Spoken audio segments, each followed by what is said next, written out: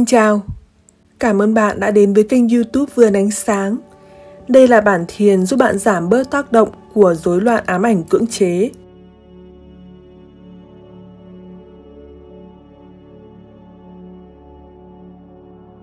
Bản thiền này không mang tính chất chẩn đoán, chỉ đơn thuần là một nội dung để bạn tham khảo và có thể giúp bạn phần nào trong việc giảm bớt ảnh hưởng của ám ảnh cưỡng chế.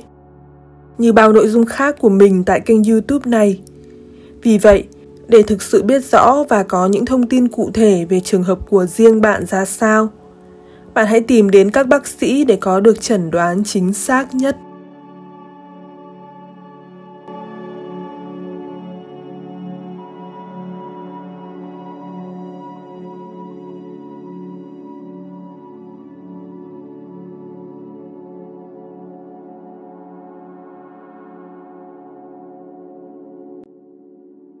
Trước khi bắt đầu bản thiền này, bạn hãy tìm cho riêng mình một góc yên tĩnh. Sau đó chọn một tư thế ngồi thoải mái. Bạn có thể khoanh chân hay duỗi chân đều được. Hai tay đặt trước bụng hoặc trên đùi để cho cơ thể của bạn hoàn toàn thư giãn. Sau đó nhắm mắt lại.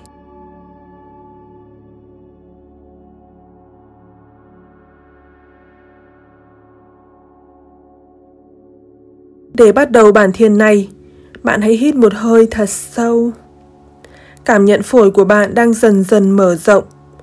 Cơ thể bạn đang được làm đầy bởi một luồng dưỡng khí vô cùng cần thiết cho sự sống.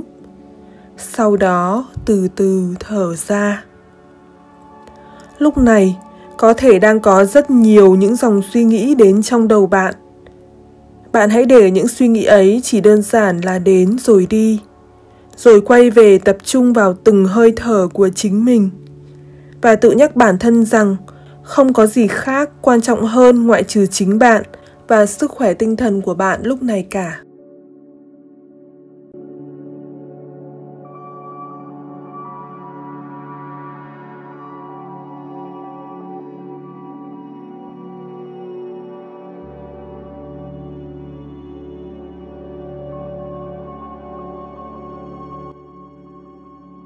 Lúc này, mình muốn bạn hãy nghĩ đến mục tiêu mà bạn mong muốn đạt được tại thời điểm này. Đó là giảm bớt tác động của rối loạn ám ảnh cưỡng chế. Vậy thì bây giờ, bạn hãy nghĩ đến tình trạng ám ảnh cưỡng chế của riêng bạn. Bạn bị ám ảnh bởi điều gì? Bởi sự sạch sẽ, sự ngăn nắp, hay bởi một suy nghĩ cụ thể, một tình huống cụ thể, một sự việc cụ thể nào đó? Mình hiểu lúc này khi nhắc đến tình trạng ám ảnh ở bản thân bạn, có thể bên trong bạn sẽ bị khơi gợi những ám ảnh ấy lên và khiến bạn muốn ngay lập tức có những hành động cưỡng chế. Nhưng cho dù đó là bất kỳ ám ảnh gì, thì mình muốn bạn hãy làm một việc ngay lúc này. Đó là đóng băng bản thân bạn hoàn toàn ngay giây phút này. Xuyên suốt bản thiền này, ngay khi những ám ảnh kia vừa trỗi dậy,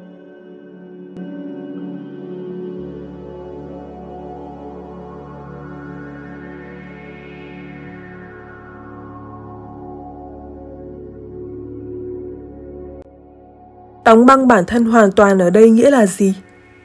Tại sao mình lại muốn bạn đóng băng bản thân hoàn toàn? Đóng băng ở đây nghĩa là bạn cứ để mặc cho những ám ảnh ấy nảy sinh, nhưng không vội hành động theo những ám ảnh đó. Bạn có để ý rằng bạn không có khả năng giữ được bình tĩnh trước những ám ảnh này không?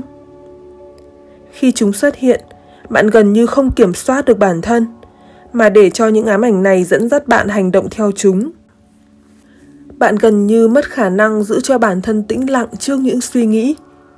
Chúng làm bạn sợ hãi. Chúng làm bạn lo âu. Và vì vậy mà bạn bị chúng dẫn dắt hành động ngay lập tức để có thể cảm thấy an toàn.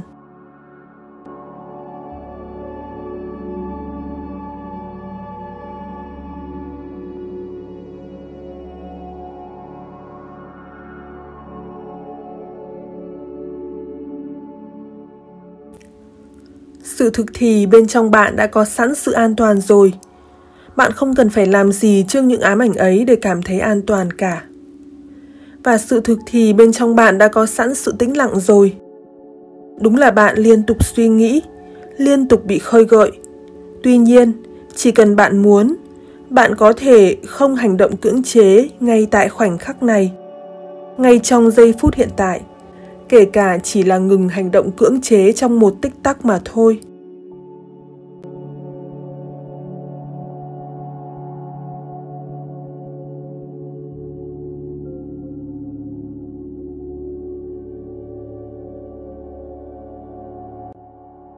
khi bạn đóng băng bản thân trước những ám ảnh đến trong tâm trí, bạn sẽ cảm nhận rằng bản thân bạn đang ở yên một chỗ và bạn đang ở vị trí một người quan sát. Quan sát chính những dòng suy nghĩ và những ám ảnh xuất hiện trong đầu bạn. Khi bạn ở yên một chỗ, bạn sẽ thấy những suy nghĩ chạy qua trong đầu bạn và những ám ảnh đến rồi đi. Bạn hãy tưởng tượng việc bạn ở yên một chỗ quan sát chúng giống như bạn đang quan sát từng cánh chim bay ngang qua bầu trời. Hết cánh chim này đến cánh chim khác. Cánh chim nọ nối tiếp cánh chim kia. Những suy nghĩ này, những ám ảnh này không hề đáng sợ. Chỉ là chúng ta chưa biết làm thế nào để tĩnh lặng quan sát chúng mà thôi.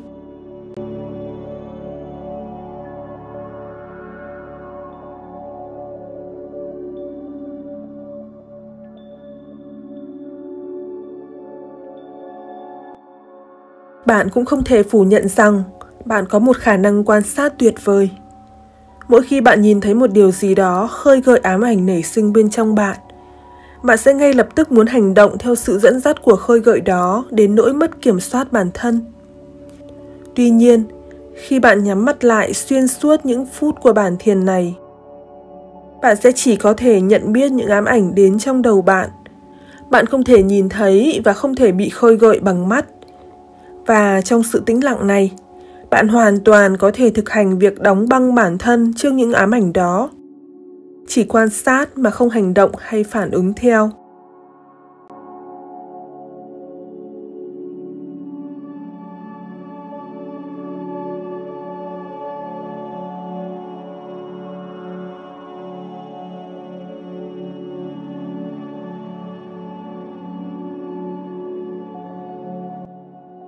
Hơn thế nữa, để có thể thực sự giảm bớt tình trạng ám ảnh cưỡng chế ở bản thân, bạn sẽ cần phải thực hành việc này rất thường xuyên. Thực hành cách quan sát những suy nghĩ ở bản thân trong sự tĩnh lặng, trong sự đóng băng hoàn toàn, mà không phán xét hay hành động theo sự dẫn dắt của những suy nghĩ đó. Thực hành càng nhiều càng tốt.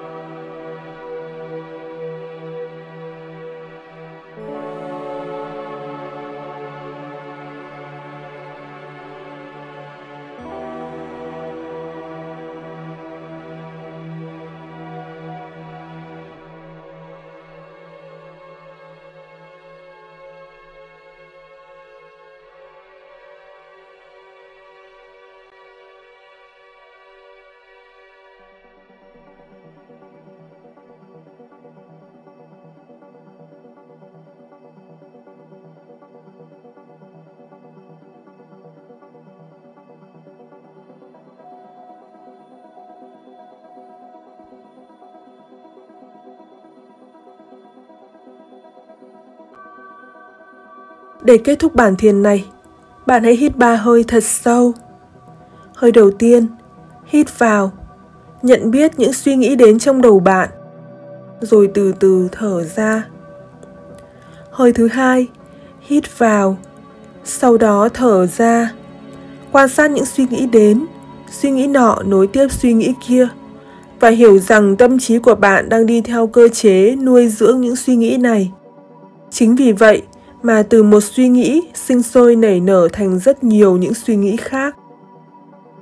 Hơi thứ ba, hít vào, rồi thở ra và hiểu rằng những suy nghĩ này có thể đến, nhưng rồi chúng sẽ qua đi. Và trong lúc chúng đến, bạn hoàn toàn có khả năng kiểm soát bản thân.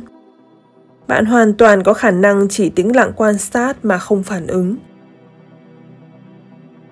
Mình hiểu rằng để vượt qua ám ảnh cưỡng chế không hề dễ dàng, vì chính mình đã phải rất vất vả để có thể vượt qua được rối loạn này ở bản thân. Mình mong rằng sau những phút vừa qua, ám ảnh cưỡng chế mà bạn đang trải qua đã giảm bớt phần nào. Bạn hãy thực hành thường xuyên để đạt được hiệu quả chữa lành càng cao càng tốt. Vì một khi bạn thực sự kiên nhẫn đủ, thì mỗi tích tắc mà bạn ngừng hành động cưỡng chế sẽ trở thành hàng chục, hàng trăm, hàng nghìn khoảnh khắc mà bạn ngừng hành động cưỡng chế. Và những ám ảnh này sẽ không còn có thể kiểm soát bạn được nữa. Cảm ơn bạn đã lắng nghe bản thiền này. Mình mong rằng bạn đã có những phút giây thư giãn và những trải nghiệm chữa lành tuyệt vời. Chúc các bạn một ngày tràn đầy ánh sáng.